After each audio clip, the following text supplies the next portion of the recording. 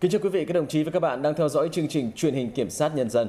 Thưa quý vị và các bạn, trong nhiều vụ án hình sự, người thực hiện hành vi phạm tội nhờ người khác nhận tội thay mình. Điều này đã đánh lạc hướng điều tra, gây khó khăn trong việc phát hiện tội phạm, dẫn đến oan sai, bỏ lọt tội phạm, ảnh hưởng tới quyền và lợi ích hợp pháp của những người tham gia tố tụng. Đi tìm sự thật của vụ án, vạch trần sự dối trá là nhiệm vụ của các cơ quan tiến hành tố tụng nhằm bảo vệ công lý, giữ gìn sự bình yên cho xã hội.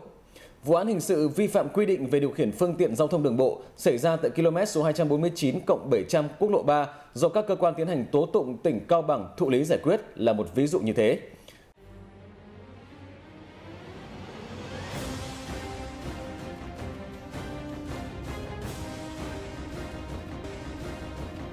Ngày 5 tháng 6 năm 2017, ngày trước giờ khai mạc phiên tòa xét xử vụ án Lê Văn Thọ về tội vi phạm quy định về điều khiển phương tiện giao thông đường bộ.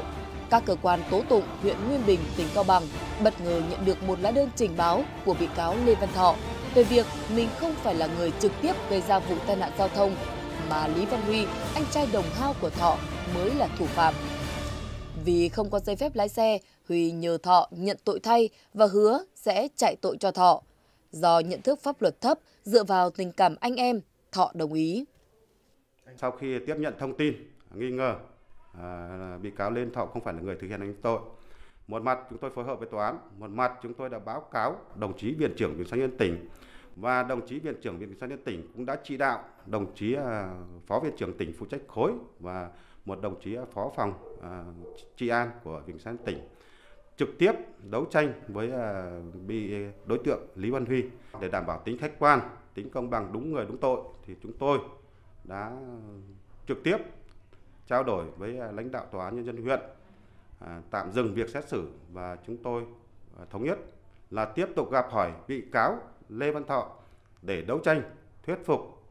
Thì được lãnh đạo tòa án nhân dân huyện đồng tình, ủng hộ. Và trước khi mở phiên tòa, cá nhân tôi cũng là đồng, cùng đồng chí tránh án tòa án nhân dân huyện đã trực tiếp gặp hỏi bị cáo Lê Văn Thọ. Một mặt vừa giải thích quyền và nghĩa vụ một mặt vừa động viên chia sẻ uh, hoàn cảnh gia đình với bị cáo. Sau ờ, một thời gian gần 30 phút thuyết phục giải thích thì chính thọ đã thừa nhận thọ là người nhận thay trong vụ việc này và khai ra người đã thực hiện hành vi phạm tội.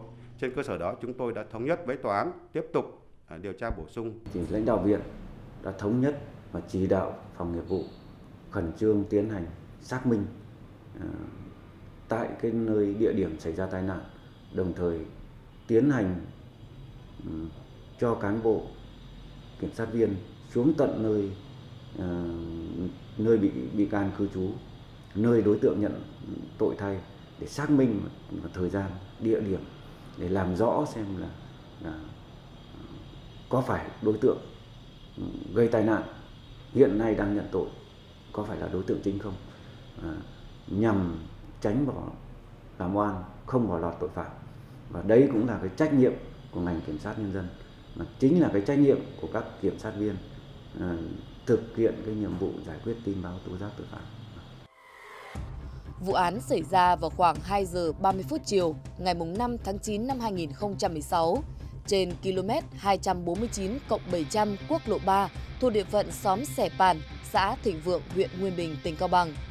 Xe ô tô tải mang biển kiểm soát 20C 00611 do Lý Văn Huy, sinh năm 1988 điều khiển, đã đâm vào xe mô tô mang biển kiểm soát 11F4 1630 do Chu Nông Khương điều khiển, khiến Chu Nông Khương bị thương, tổn hại 64% sức khỏe.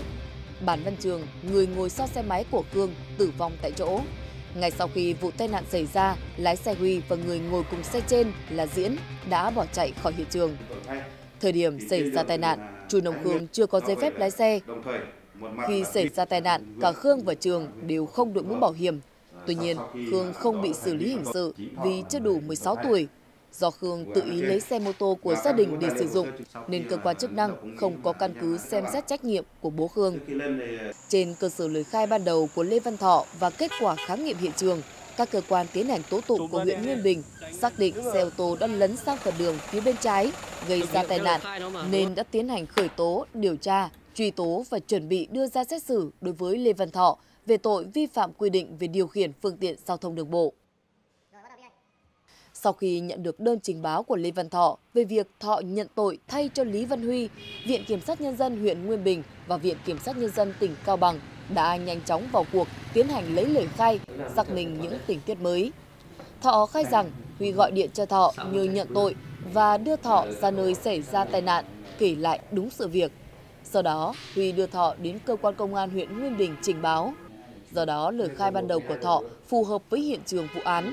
Đồng thời, kiểm sát viên và điều tra viên tiến hành đấu tranh với Lý Văn Huy. Huy đã thừa nhận chính mình là người lái xe gây tai nạn và có nhờ Thọ nhận tội thay.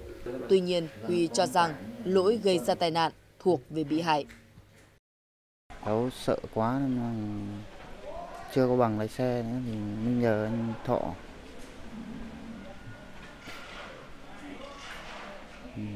Anh Thọ anh có bằng lái xe rồi thì chắc nghĩ là tưởng là không bị phải đi tù hay là bị phạt nặng vì tình cảm, anh em thì em cũng, thì nó cũng bảo là chạy giúp và chạy cho, lo cho là không có xảy ra vấn đề gì. Thì em nghĩ là cũng bình thường thôi. Nó cũng đơn giản, chưa va chạm với pháp luật. Thì nó nghĩ là bình thường thôi, nhưng mà càng đi sâu vào càng thấy vấn đề nó nó khó mở phiên tòa xét xử thì lúc đấy là anh Lý Văn Huy cảm thấy không no nổi nữa. Thì em xác định là ờ, thôi thần khẩn khai báo. Ờ, đồng chí ờ, quân trực tiếp giải thích rất tỉ mỉ về cái quy định của pháp luật đối với những người thật thà khai báo. Rồi là động viên đối tượng để xác định là cái việc mà đổ cho người khác nhận tội thay ấy, mà lại chính là là anh em cọc trèo thì như thế thì nó về cái cái tình cảm gia đình ở trong gia đình như thế cái quan hệ trong gia đình như, như thế là uh, không tốt Đấy, động viên thuyết phục như vậy Đấy. và cái hậu quả pháp lý xảy ra thì rất là nặng nề đối với kể cả như là thọ Đấy. rồi là đối với lại trực tiếp bản thân huy Đấy. thì sau đấy thì sau hơn một tiếng đồng hồ sau thì huy bắt đầu nhận ra và lúc đấy là huy khóc Ngày 12 tháng 6 năm 2017, Viện Kiểm sát Nhân dân tỉnh Cao Bằng đã tổ chức cuộc họp 3 ngành, cơ quan điều tra, Viện Kiểm sát Nhân dân, Tòa án Nhân dân cấp tỉnh, có sự tham gia của Viện Kiểm sát Nhân dân huyện Nguyên Bình. Viện Kiểm sát Nhân dân tỉnh Cao Bằng đã thông báo lại kết quả xác minh nguồn tin mới thu thập. Qua trao đổi, lãnh đạo liên ngành cấp tỉnh đã đi đến thống nhất chuyển hồ sơ vụ án lên cơ quan cảnh sát điều tra công an tỉnh Cao Bằng để giải quyết. Cơ quan Cảnh sát điều tra Công an tỉnh Cao Bằng ra quyết định khởi tố bổ sung vụ án về tội khai báo gian dối và ra quyết định thay đổi quyết định khởi tố bị can đối với Lê Văn Thọ sang tội khai báo gian dối tại Điều 307 Bộ Luật Hình sự. Tuy nhiên, kiểm sát viên và điều tra viên đã xem xét đến hoàn cảnh, tính chất nguy hiểm của tội phạm không còn. Thọ đã tự nguyện khai báo lại sự thật khách quan của vụ án. Viện Kiểm sát Nhân dân và Cơ quan Cảnh sát điều tra Công an tỉnh Cao Bằng đã thống nhất đình chỉ điều tra bị can đối với Lê Văn Thọ về tội khai báo gian dối.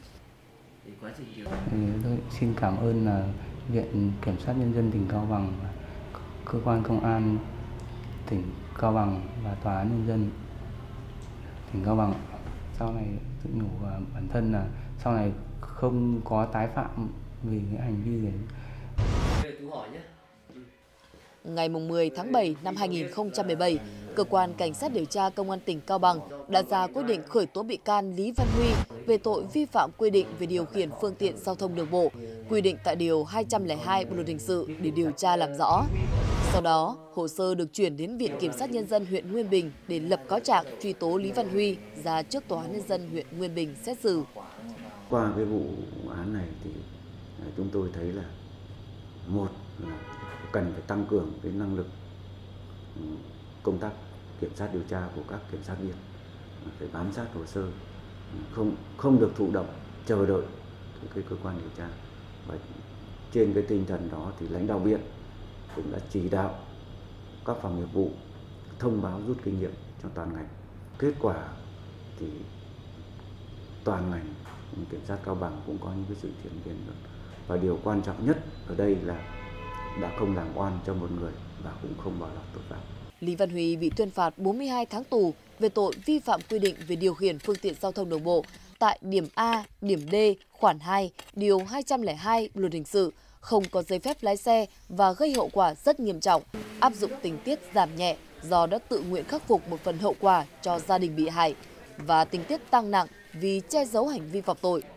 Nhờ có sự động viên giải thích của kiểm sát viên và điều tra viên, Lý Văn Huy đã nhận ra sai lầm, không khỏi ăn năn, hối hận vì hành động dại dột, gây nên hậu quả đáng buồn cho các nạn nhân và người em Lê Văn Thọ. Có lời xin lỗi anh Thọ thì đã lúc đấy em không nghĩ được nhiều mong vợ con nhà khỏe mạnh với những nỗ lực của các cơ quan tố tụng nói chung, Viện Kiểm sát Nhân dân hai cấp tỉnh Cao Bằng nói riêng, người phạm tội đã phải chịu sự trừng phạt thích đáng của pháp luật.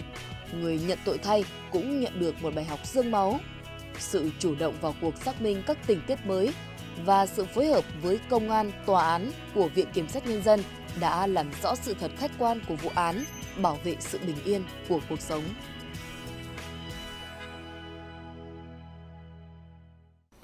Chương trình truyền hình kiểm sát nhân dân kỳ này của chúng tôi đến đây là hết. Cảm ơn quý vị, các đồng chí và các bạn đã quan tâm theo dõi. Xin kính chào tạm biệt và hẹn gặp lại trong những chương trình sau.